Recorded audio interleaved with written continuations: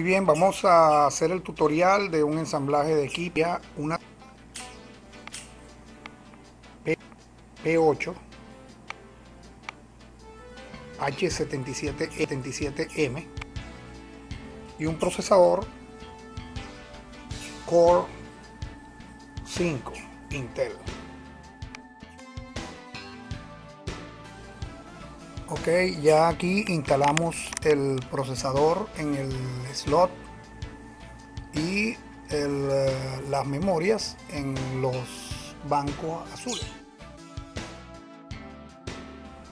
Vamos a colocarle un poco de eh, gel térmico al procesador. Lo arriba.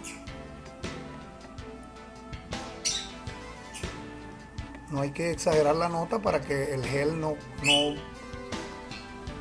se desborde por la parte de abajo. Esto se aplica con una, algo muy parecido a un inyectador, lo venden en las tiendas, se llama gel térmico. Ok, vamos ahora a la colocación del cooler del procesador. Existen cuatro orificios, los cuales están a los cuatro esquinas del procesador hay que buscar que el, cable de alimentación esté lo más cerca posible de la fuente. Eh, este tipo de, de cooler se aplica esa presión cada uno de los cuatro extremos, lo cual le hacemos un pequeño, una pequeña presión en cada uno y los orificios, la ballesta, el tipo ballesta, baja. Él queda ya fijo ahí. Eh, acto seguido colocamos el la alimentación del procesador en, el, en donde el manual, muy importante, leer el manual de la tarjeta madre. Ok, una vez ensamblada ya tenemos por una parte el procesador, las memorias, tenemos la propia tarjeta madre que es integrada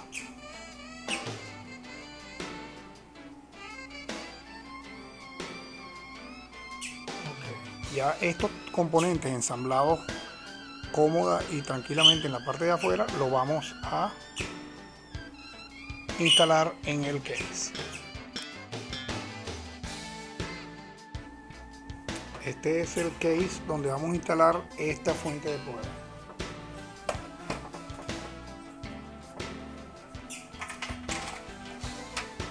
Es una CX600 de 600 vatios que alimentaría los dispositivos periféricos y la tarjeta madre junto con el procesador. Iría en este case que lo estamos viendo por el lado interno.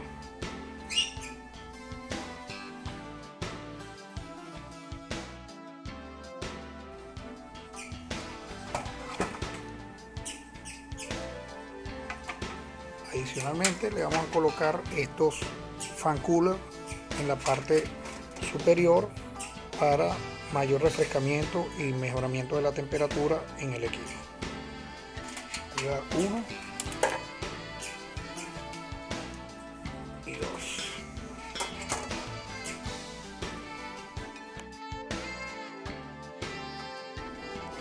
Ok, aquí ya podemos observar eh, que ya tenemos instalado ambos coolers en la parte superior del case. Aquí instalamos la unidad de CD abajo tenemos la unidad de disco duro y aquí instalamos la fuente de 600 watts.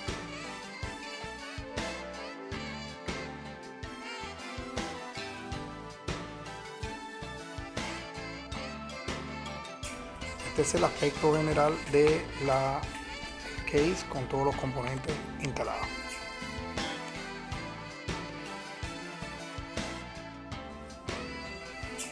Como habíamos visto, eh, habíamos instalado la memoria, el procesador, en este motherboard, que lo vamos a colocar en este espacio, en el case. Entonces esto va a ir instalado de esta manera.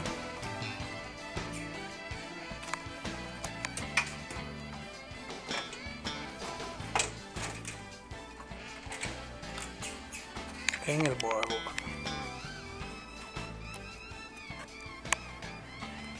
Bueno, ya tenemos instalado todo el motherboard dentro del equipo.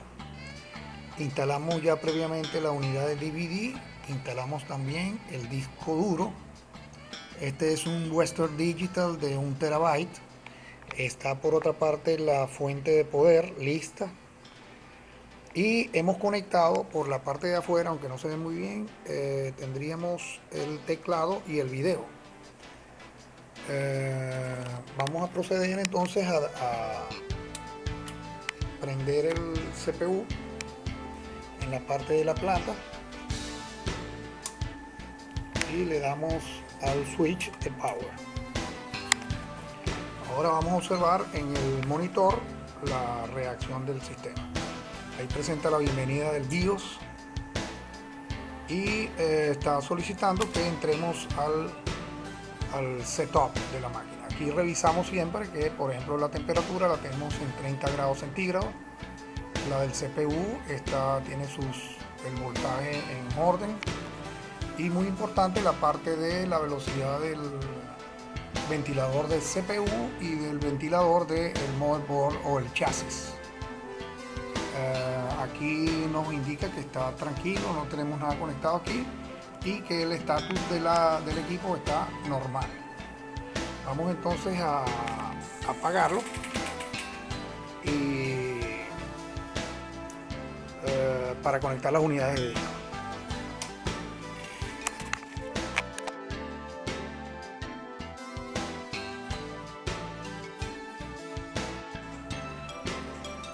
Aquí vemos en pantalla eh, la situación en que está el equipo a nivel de los valores de, temperatura hasta el ciclaje del ventilador.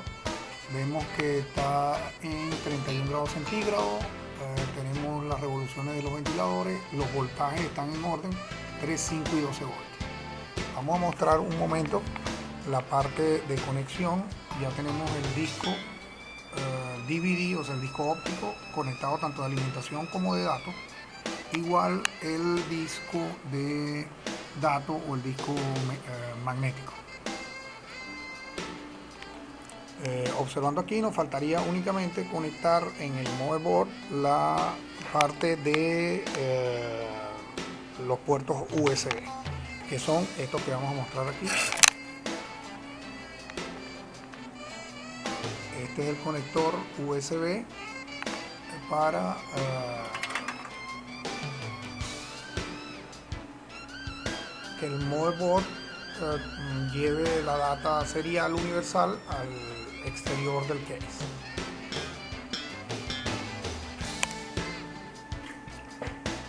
Bueno, ya entonces en esta parte está conectado el puerto USB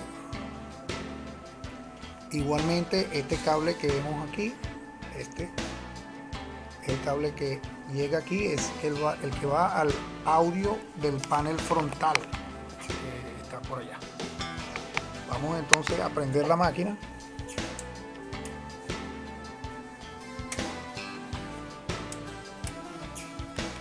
Ahí encendieron todos los LED, todos los coolers.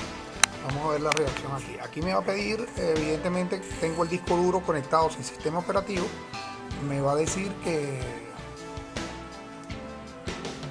que no tiene un equipo para levantar el sistema. Esto indicará que entonces ya está reconociendo el disco duro, que ya pasó toda la información del, del BIOS del equipo. Y vamos entonces a colocar un sistema operativo. Bueno, vamos a presentar ahora ya los cables organizados de esta manera. Colocamos abajo los que no van conectados, el sobrante o la reserva que tiene la fuente de poder. En toda la parte del cooler y el procesador organizamos para que ningún cable pegue allí. Eh, igualmente la parte de los controles frontales lo colocamos en sitio bien organizado y esta es la forma en que queda el, case.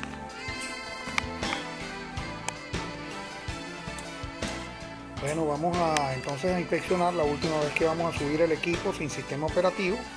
Eh, aquí está subiendo la pantalla, entonces como habíamos quedado, eh, presenta el BIOS del, del sistema y va a pedir entonces de que se le coloque un sistema operativo.